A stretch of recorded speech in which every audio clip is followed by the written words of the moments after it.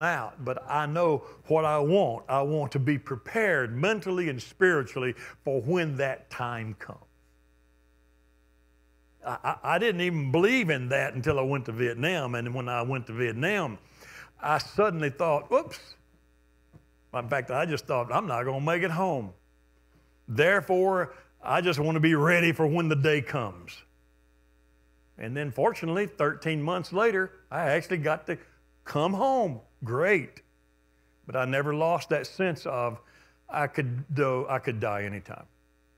Can you, can you just, I, I'm, I'm trying to offer you how to get through the circus and the jungle that we're living in these days. Just uh, while you're keeping your eyes fixed on Jesus, live with an awareness of time.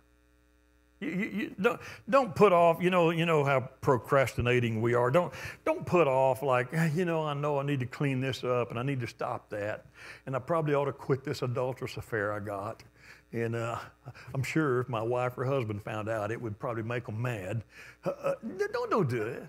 Don't, don't do that. When, when you know today you're doing something wrong, don't assume you got till next week to fix it.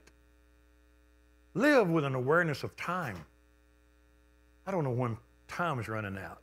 Fix it while you have time. Live that way. I'm going somewhere. I'm pressing toward the high prize, the calling of God in Christ Jesus. I want to live for Him for no other reason. I want to live for Him. I want to use all the time I have for Him. I don't have time to waste it on sin and selfishness and silliness and gambling that I'll have enough time to work it out.